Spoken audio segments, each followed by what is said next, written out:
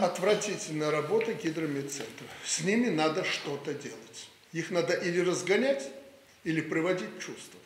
В лучшем случае в какой-то день на 50-70% достоверность прогнозов погоды.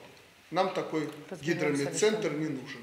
Я уже э, ориентируюсь на военных, которые видят в реальном времени погоду, хоть скажут, где идут дожди по республике и что будет в ближайшие там 12 часов.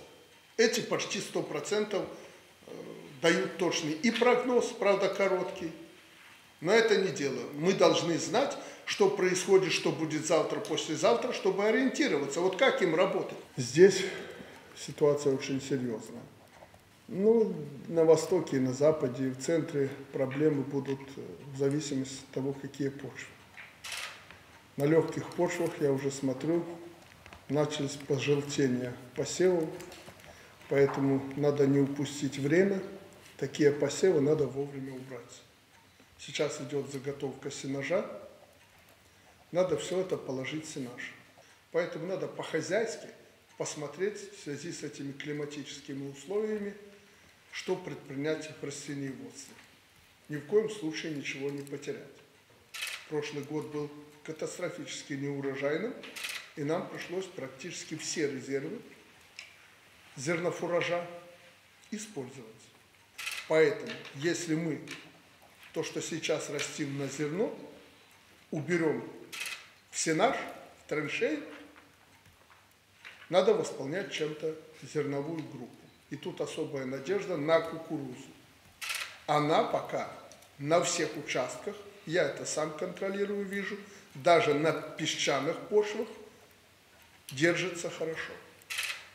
Поэтому надо сделать ставку на заготовку зерна из кукурузы.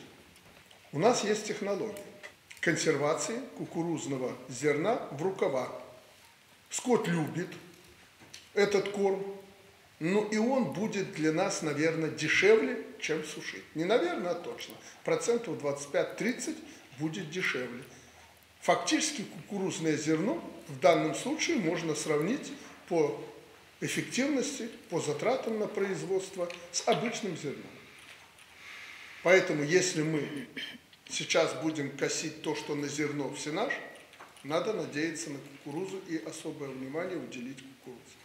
Там, где это невозможно, сделать все для того, чтобы пустующие, свободные, нераспаханные площади, и в том числе эти площади, которые я сказал, пересеять однолетними, еще какими-то культурами. В итоге, если подвести черту, речь идет о заготовке кормов. Наиважнейший вопрос, которому мы уделяли второстепенное значение.